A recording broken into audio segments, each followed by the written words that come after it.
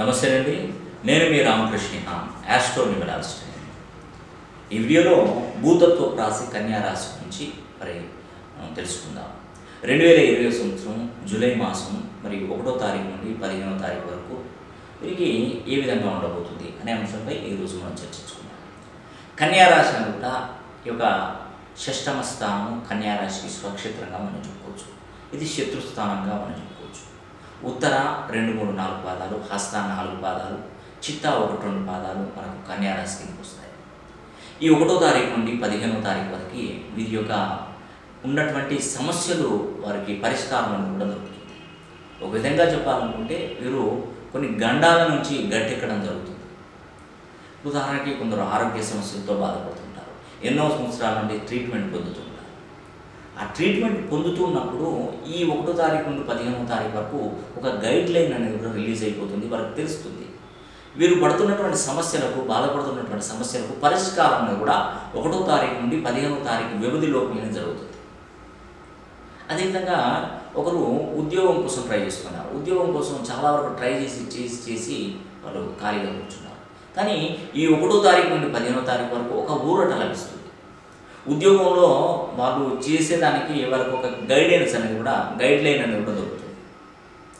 ఒక వ్యక్తి అతను అనుకోకుండా కలిసి సో ఒక గైడెన్స్ ప్రకారం అతన్ని ముందుకు నడిపిస్తారు కన్యారాశి అప్పుడు వారికి మంచి ఫలితాలు కలుగుతాయి.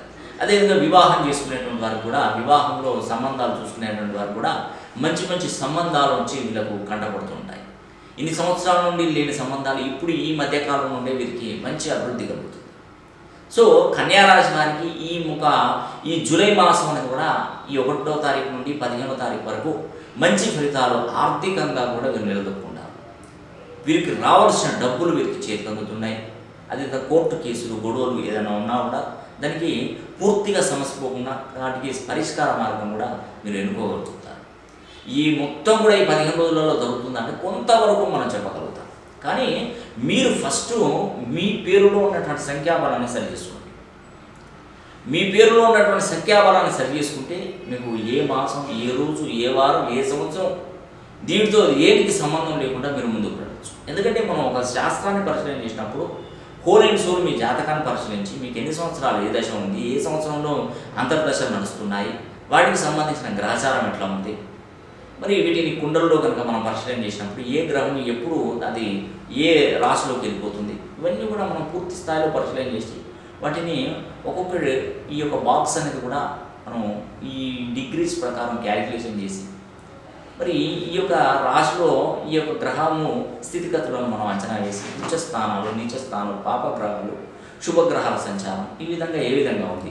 ఇవన్నీ కూడా మనం పూర్తి స్థాయిలో పరిశీలించిన తర్వాతనే మీ నేమ్ అనేది కూడా కరెక్షన్ చేస్తే చక్కగా ఉంటుందని కూడా మీకు ఈ వీడియో ద్వారా తెలియజేస్తున్నాను.